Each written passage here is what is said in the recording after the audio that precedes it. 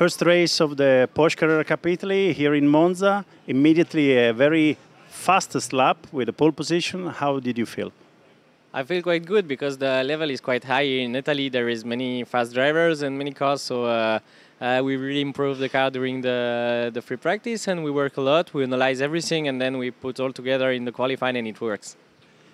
Last year you won the Porsche Carrera Cup France. How do you can compare the level of the drivers between the racing in France compared to Italy?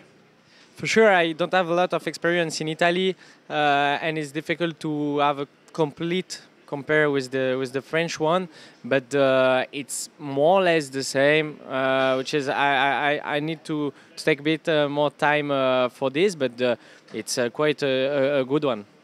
And that was the start of the scholarship program here in Italy? You know, you are involved on this, which is absolutely important. Last year, Cairoli won and won also the international scholarship, so it's a good target to achieve. Yeah, for sure. This is uh, really uh, uh, the, the, the, the, one of the objectives of the, of the year, and uh, I'm pushing hard. It was really tough the first assessment, and uh, and quite hard. So I give my best, and I will do it until the end.